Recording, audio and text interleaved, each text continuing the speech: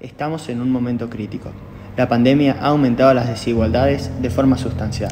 Cada vez hay más diferencias en el mundo en el que vivimos y lamentablemente estas desigualdades no son visibles. Pero esto tiene que cambiar.